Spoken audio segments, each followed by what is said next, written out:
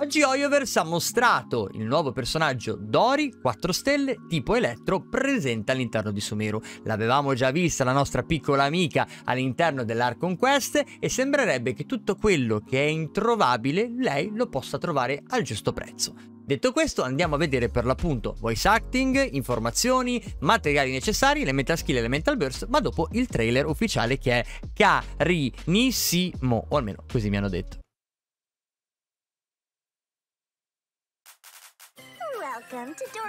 Il bazar di Dori. Wanna take a nap? Stay dry? Say Sumter Beast? No problem. With enough Mora, you can afford to do anything. Basta che paghi e lei ti trova tutto. Con la slime.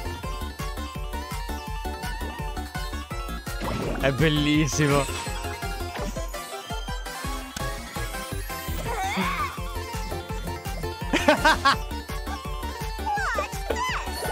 No way.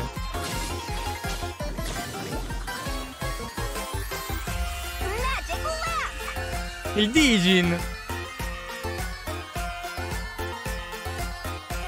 No. Here's the goods. Your Mora is mine. Your Mora is mine.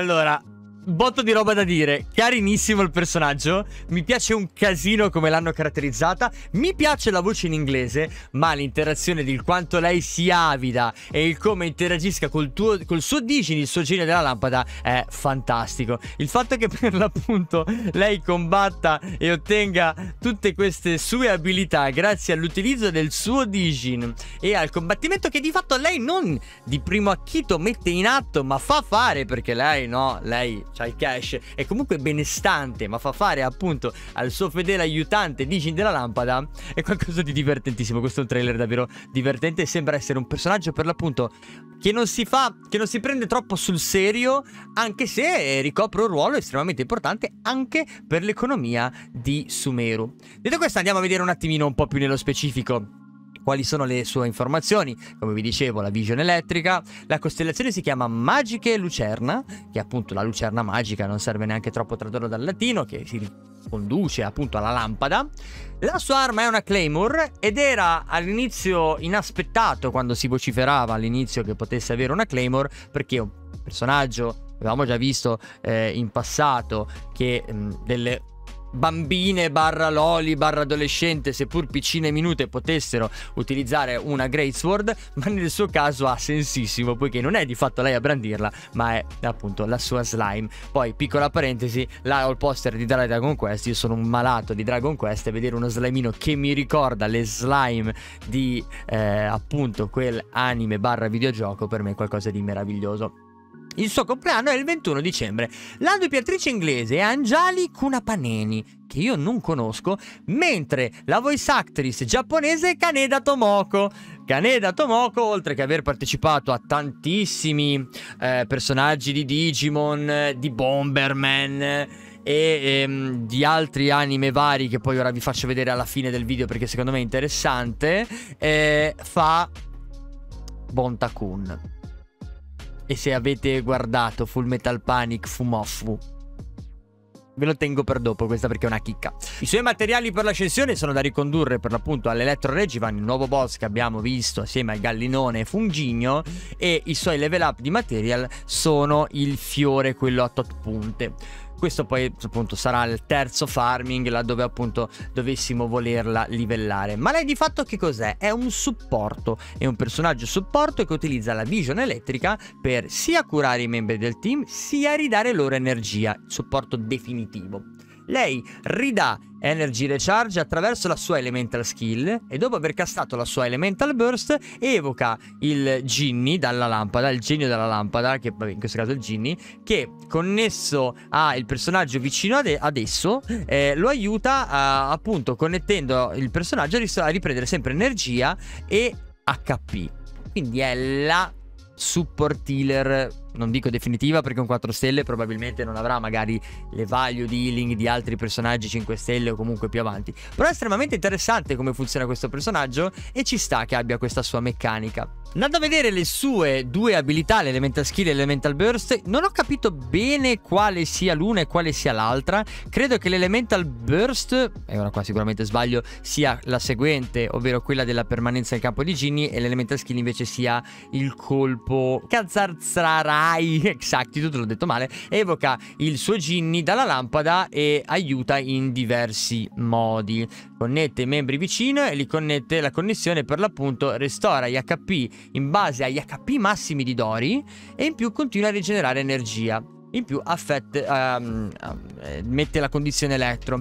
Quando il, colui che è connesso tra il connettore tra Ginny e il personaggio colpisce un nemico, quest'ultimo infligge elettro damage ogni 0.4 secondi. Può esserci solo un Ginny in campo. Vediamola, guardiamola. Lei tira Ginny, rimane connessa e muovendosi infligge danno continuativo di tipo elettro. Gli dà la scossa di fatto. Lei è chiaramente il personaggio che entra in campo. Questa connessione dovrebbe dare sia energia, sia vita, sia energy recharge. Potrebbe essere una soluzione veramente devastante per quei team che necessitano l'elemento elettro, quindi applicare elettro ai vari personaggi per poi andare a fare le reazioni successive. Al di là di un semplicissimo electrocharge, pensate a questo punto a roba come Hyperbloom e Aggravate. Sembra qualcosa di davvero davvero interessante. È una bella come meccanica, mi piace.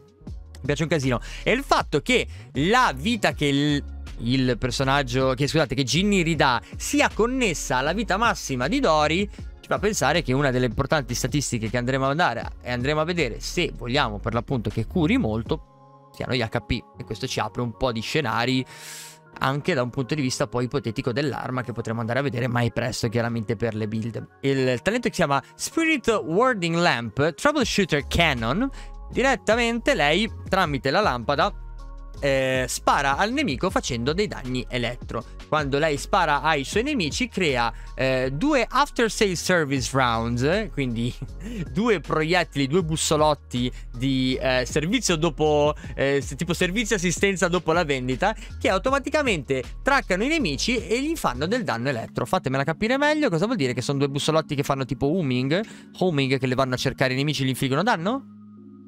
Lei spara, esattamente, e vedete che questi due bussolotti arrivano e si connettono e vanno a colpire. Personalmente la ritengo super carina e non mi avete mai forse eh, sentito così contento di un personaggio che sembra una bambina ma poi di fatto per l'appunto non lo è, eh, che, per il quale io appunto abbia dei, eh, delle parole positive, ma credo che sia molto originale al di là del copy paste di Diona. Lo sappiamo, il modello è quello, Oyoverse ricicla i modelli, quello lo sappiamo, ma il fatto che ci sia il Digin, che venga utilizzata la lampada, che abbia questa voce, questa caratterizzazione, questo fatto che sia molto avida, che, ri- che tutto ciò che ha addosso ricordi opulenza, bene, è un personaggio che personalmente non vedo l'ora di pullare e di giocare. Ora, come vi avevo promesso, la voice actress di Dori, Tomoko Kaneda, fatto i seguenti personaggi. One Piece, Boa Sandersonia da giovane, poi ha fatto Jiraki, il Pokémon leggendario, andando su ha fatto alcuni dei Digimon, ha fatto Kulumon, Ok, fa morire da ridere il fatto che abbia fatto Kulumon. La chiameremo Kulumon da ora in poi. Ha fatto Bomberman, io che sono un malato di Bomberman, mi piace tantissimo. Ha fatto di Bleach Neltu eh, altri personaggi che io non conosco tanto perché non ho visto quegli anime, alcuni videogiochi di Clonoa, ha fatto Karal, comunque sempre creaturine particolari.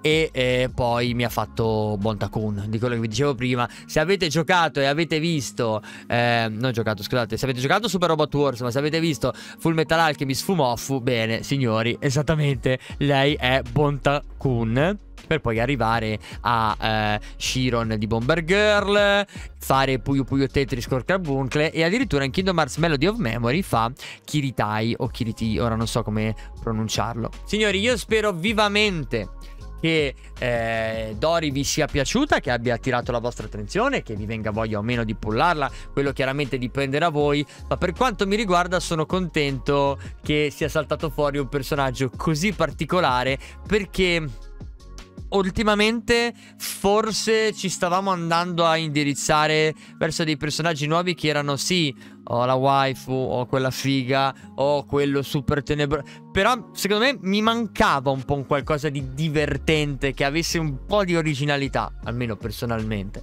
Per quanto riguarda appunto questo aspetto, lei sicuramente fa parte di quella strega di personaggi lì.